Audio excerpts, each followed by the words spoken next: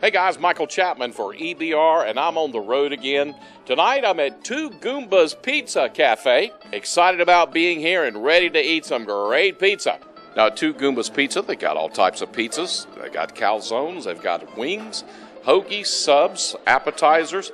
They even got different types of bowls, salads, and they even got things for the kids like hot dogs, hamburgers, chicken tenders. So you got a little bit of everything for all the family right here. You can dine in or you can have it delivered. All types of great Italian food, and they serve beer and wine. Well, guys, here's some of the things that were brought out tonight. First and foremost, we had a delicious spaghetti meal, fresh made marinara sauce on spaghetti with homemade garlic bread. Next, I got to try a homemade meatball hoagie sandwich. And then finally, we got to try a pizza. Now, this was, if you look at this pizza, it's got everything on it. Great place to visit, whether you want to have it delivered to your house or you just want to come here and sit down and eat. For EBR on the road, I'm Michael Chapman. I'll see you next time.